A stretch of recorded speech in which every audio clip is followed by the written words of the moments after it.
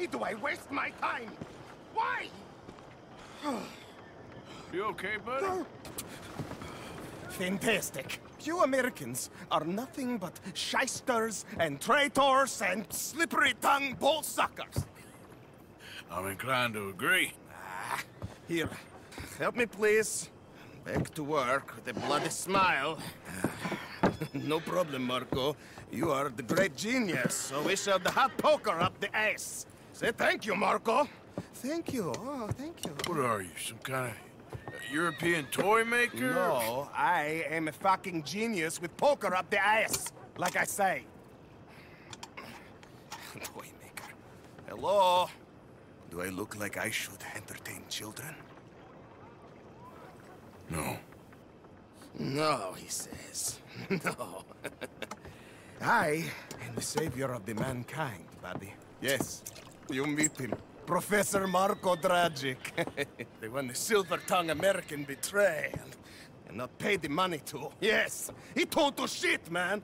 So, uh, what's this toy about? It is not a toy, Big Nuts. It is demonstration of my genius, of my ideas about the source of life. Oh, it's a toy boat.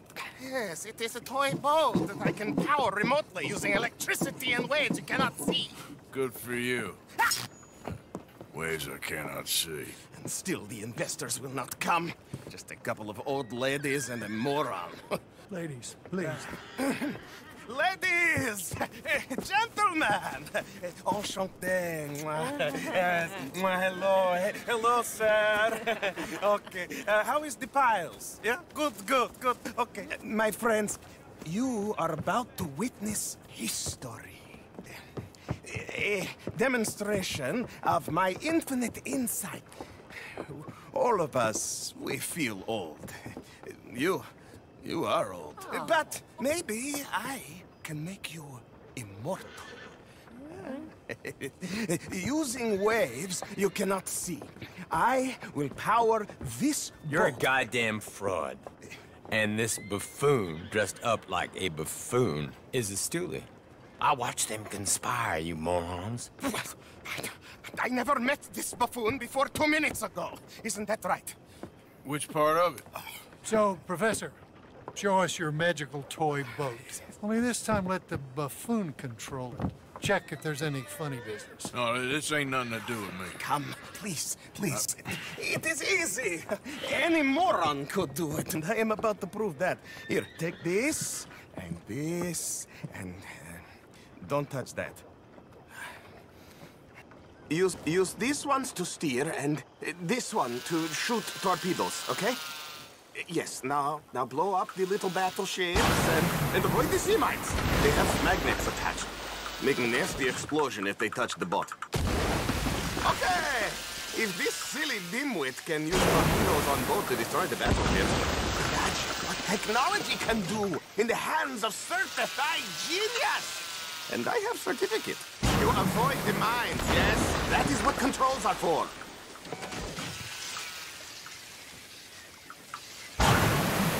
You see what he does? No wire like telegraph, no pulley system underwater, only waves in the air. This is remarkable. Think of those poor boys on the H.L. Hunley. Eight of them perished to a mere five on the Housatonic. What a way to go. There, all gone for you. yes, you see what he does? Now, bring the boat back to the dock. That sure was something, but I'm not sure what, if anything, was proven here. The, the, the demonstration's not over yet.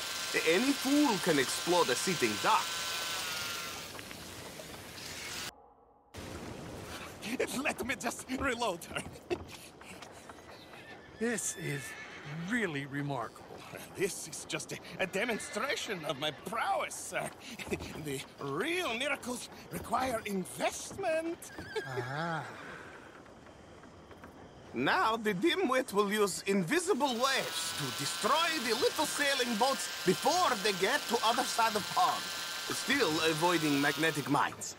Oh, he'll attempt to, at least. Shush! We're not here for this smart talk.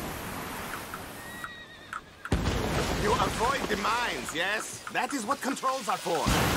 the steam train, the telegraph machine, the motor car. They will all seem pedestrian in comparison to this technology. We are not reliant on wires or coal or gasoline. Just rays in the air, like the voice of God. And funding from us? And funding from you, of course. But what thing to fund! What an opportunity! Look who rules the seas. Very good, very good. Now bring in the boat back here.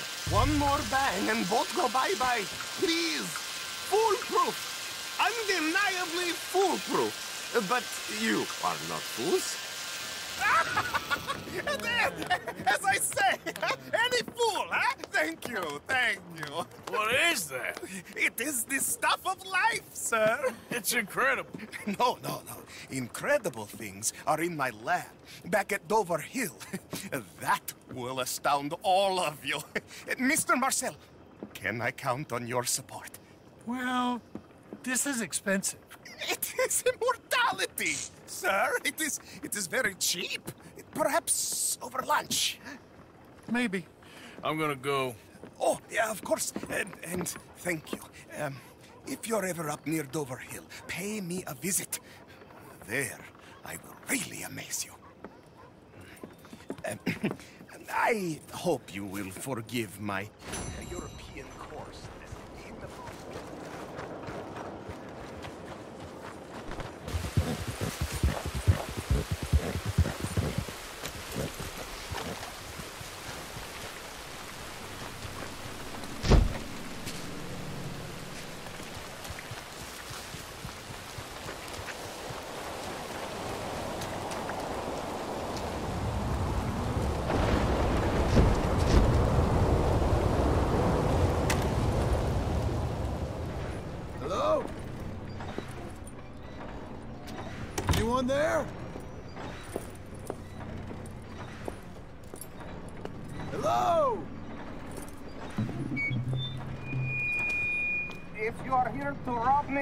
I wish to make clear that I have weapons that could liquefy each of your internal organs in turn and leave you just a puddle on the floor. Professor, I ain't here to rob you. My friend helped you at the pond. He did. Oh, oh, the, the buffoon! yes, he did. uh, uh, hello. Hello. I hope I'm not disturbing you. Of course you are disturbing me, buddy. I almost solved biggest problem and you mess it up. I did? No, but I did. I can't get the bloody conductor straight. Uh, what? Well, it, it is uh, the geometry of life, uh, the, the grand theory of uh, power. it's the grand theory of theories. Huh? Uh, there is just one more big problem.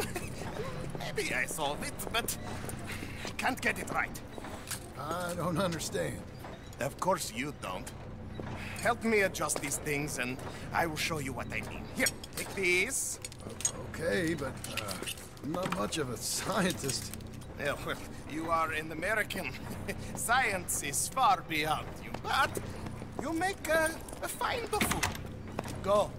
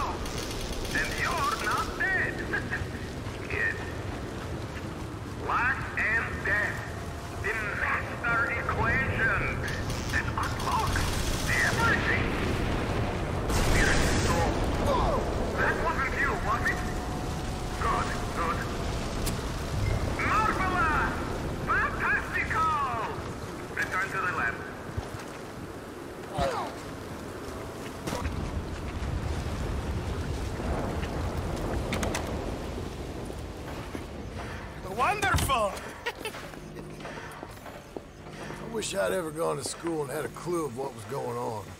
What now? Well, now, I become the second creature after God himself to bring life to this earth. Like this.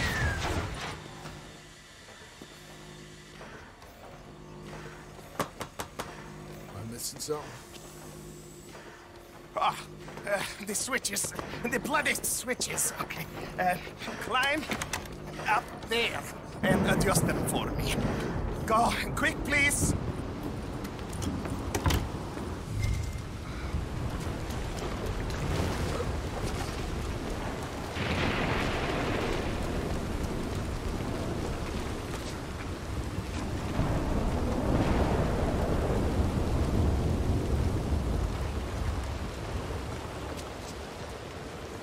God damn it! What have I got myself into?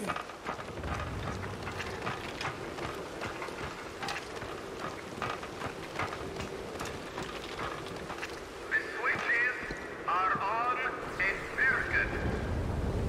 Flick one switch on the array, and another might go off. You want the three illuminations, so flick the switches till that is the outcome. Just tell me! What goddamn one these to pull? I am an invisible web engineer, not an electrical technician. Okay? You better hope I ain't fried up here!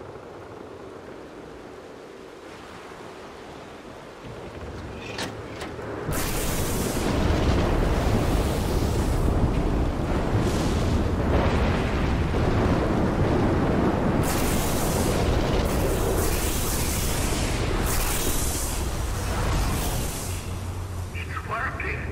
It's working! Come down here, quick!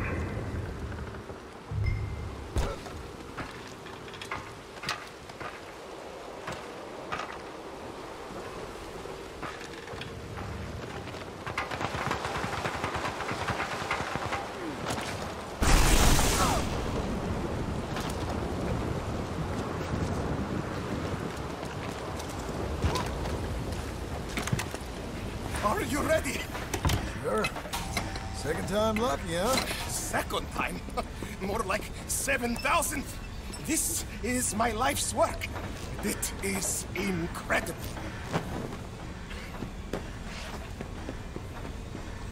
Watch.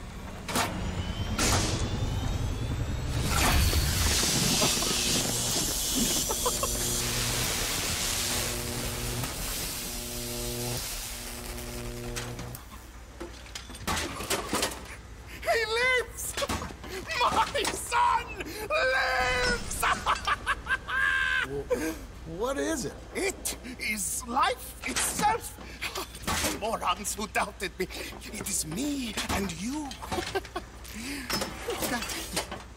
isn't he wonderful?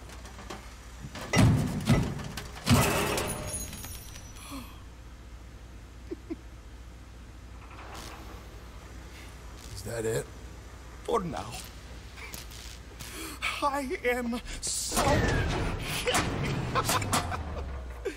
oh, you just saw creation's second birth. I just saw a machine waddle a few steps.